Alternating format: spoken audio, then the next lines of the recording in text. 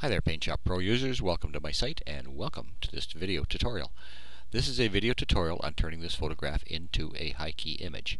And I've also suspect that not an awful lot of you Paint Shop Pro users are using tablets and you should be using a tablet because with this tutorial especially a tablet is really useful. So let's get started. We're going to make this into a high key. What that means is we're going to desaturate it and we're going to make it as black and white as we can and then we're going to use the uh, the light and darken tool and the dodge tool to get rid of all the black and just have a really cool looking photograph at the end. So I have to talk fast and I have to work fast because I only got 10 minutes and uh, I want to finish this. Okay, so the first thing we're going to do is we're going to desaturate this and what we're going to do is use a channel mixer and you can see in here I've got my copy of raster 1 and raster 1 and I have no idea why these are sitting on the side. They should be up here but they somehow migrated over here and if anybody knows let me know how to get them back. Okay anyways uh, we're going to make a new channel mixer. That it's uh, yeah right here. Okay so it's there. I can just move this off. So you can actually see what's going on. Channel mixer. Here is the channel mixer.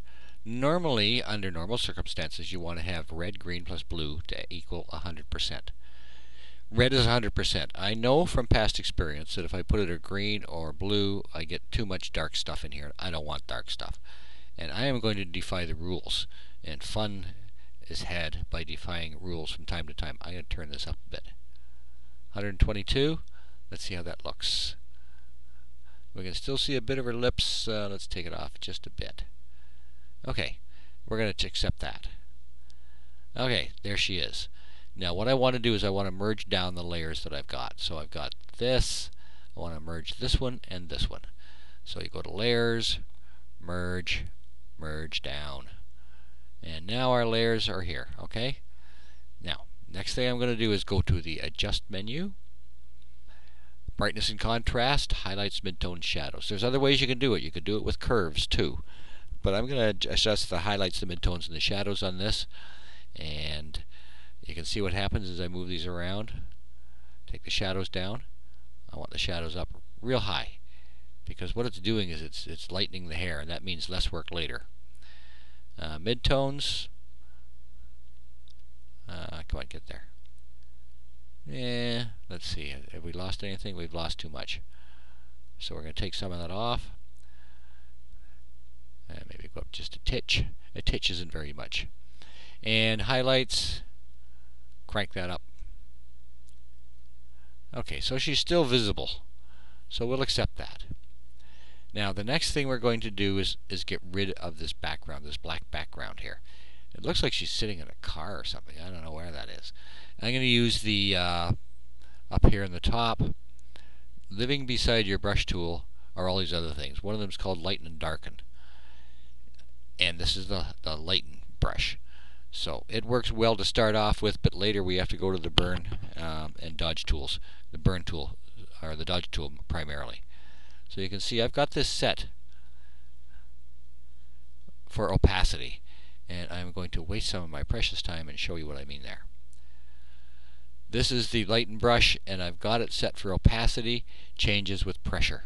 And you have got all these different things you can do, but I want it to be pressure on my tablet. And this is one of the reasons why you should be using a tablet. And so I'm going to lighten this up. And you can see how it lightens up nicely there. And what I want to do is get it really light at the edges and get darker into the middle, but not very dark at the end. Okay, so we're going to work with this. Now I've, I've blown four minutes yammering away here, so I'm going to pause this and work at it for a bit. Then I'll come back and I'll show you where the dodge tool comes in. But you can see how that's taking it away quite nicely. Okay, so you just hang on for a while. Okay, I'm back for a few minutes here, and I'm going to change over to the dodge tool now because the uh, lighten and darken brush isn't having any more effect. And on the top, you'll see off to the right hand side the limit. I'm going to limit this to highlights. And now this is classified as a highlight. And I've also got this set for opacity uh, for pressure. So now you can see how it's going to do what I want it to do. It's not doing what I want it to do. There we go. There we go. Okay. My computer is so slow. I'd love to do this on my Mac, but my Mac doesn't run PaintShop Pro, which is a real problem for Corel. They should have it running on Paint on uh, Macs. Unless I guess I can put Windows on my Mac, but you know, do I want to do that? I don't know. So uh, now I'm just working away up here and working away down here. And I've got only five minutes left, so I'm going to have to pause this again. This is frustrating when you only get 10 minutes and you have a 15 minute video you want to do. So you have to have these little spots in here where it's, well, for you I guess it's not dead air. Anyways, I'll work away at this again, come back and show you some final stuff. Where's the, there I'm back again. I'm almost done here. Um, I've got about four minutes to go. Um, so I've, I've, left some stuff undone. Right here on her cheek, her nose there, and this here. I've been over this a whole bunch of times with the high, with the uh, highlights uh, set in the limits. Doesn't work. It doesn't get rid of it. So I'm going to change that to shadow. And I'm going to make my brush small. And you do that by pressing the Alt key and moving your pen to the left. There we go. And I'm just going to run up and down this bit. And that's the shadow area. It's going to lighten that up. Slowly but surely it does it. Now it's become a midtone, so I'm going to change that. See, this, this is a time-consuming thing. If you're trying to do this with the mouse, good luck. It'd be hard to do. Okay, now I'm going to go back to highlights and my limit and make my brush bigger and we'll get around the cheek and the face because you can see there's some gray stuff in here that shouldn't be there. So we'll just kind of work away at that up and around the nose. I've got the uh, hardness set to zero so it's kind of a soft edge brush and you don't get uh, definite goofy lines going on. So there we go. Oops.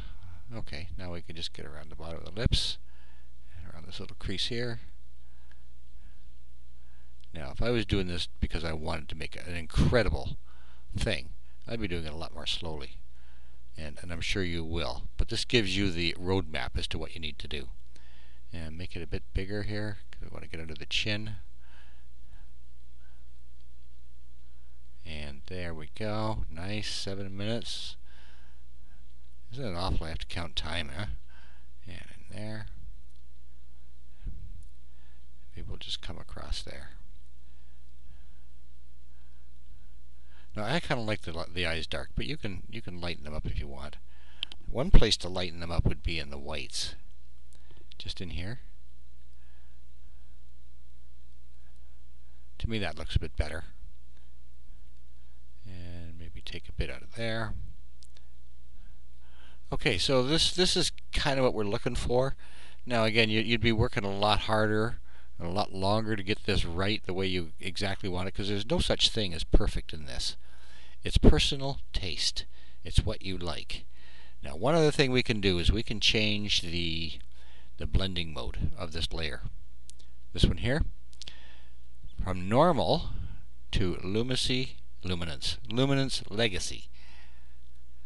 And because you've got this layer still here, it's picking up some of the color. So that's kind of cool. So give this a try. It really is a fun, fun technique and you can do some really dramatic things with it. And I hope you've enjoyed this. I hope you find a way to use this yourself because it really is cool and it's darn fun to do. Um, I've done it with my dog, Tabitha, the loudmouth from earlier. I've done her and done a few other shots. You can just amaze your friends and do something real nice for somebody. And we'll just get up around the eye a bit here. I made the brush too small, didn't I? So that's how you do a high key and you really should be using a tablet because a tablet makes all the difference in the world. It'd be so hard to do this with a mouse. Anyways, thank you for watching. I hope you have enjoyed this and I hope you found something that you can uh, make use of.